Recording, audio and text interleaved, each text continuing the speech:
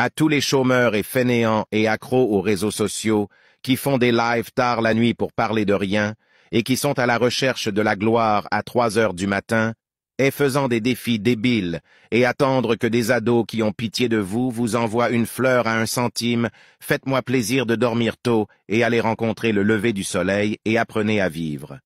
Allez, faites-moi confiance.